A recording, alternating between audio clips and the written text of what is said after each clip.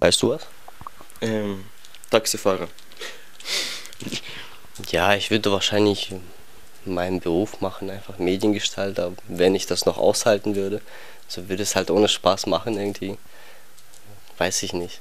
Oder würde mir einen anderen Job suchen. Aber ja, vielleicht sogar schon Familie haben.